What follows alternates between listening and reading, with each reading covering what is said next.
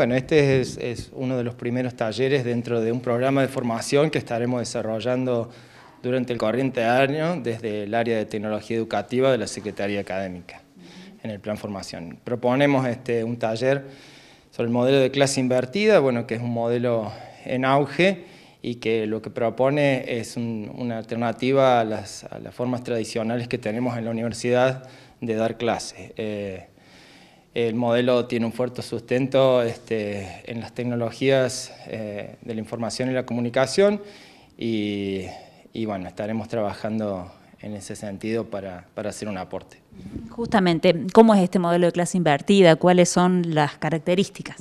Bueno, eh, la característica principal es que ciertas actividades que estamos acostumbrados a hacerlas de una forma tradicional son llevadas este, eh, fuera del aula presencial para trabajar a partir de propuestas basadas en, las tecnologías y bueno, traer esos eh, ciertos aprendizajes ya a la clase presencial.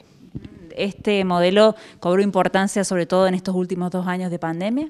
Ese modelo es un modelo que ya se trabaja desde hace muchos años y bueno, ahora este, como que el modelo está siendo fuertemente analizado, digamos, y propuesto a partir de, los recursos generados durante la época de la pandemia, aprovechando ese trabajo y esa experiencia este, que se obtuvo en este lapso. ¿Cómo se va a estructurar este taller? ¿Cuándo estaría comenzando? El taller está comenzando con actividades eh, no presenciales el próximo 18 de abril, eh, y tendrá encuentros presenciales, cuatro encuentros, a partir del martes 26. ¿Quiénes pueden realizar esta formación? Lo pueden realizar los docentes de todas las facultades de, nuestra universidad.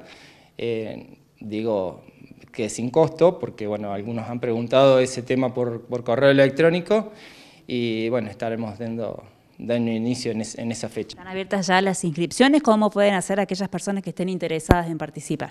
Las inscripciones están abiertas, pueden hacerla por medio de la página web de la universidad, donde lo van a dirigir a un formulario que deben completar, eh, es hasta el 13 eh, de esta semana, digamos. Eh, tenemos, es importante aclarar que es con cupo por los espacios físicos que cuenta las aulas de la universidad.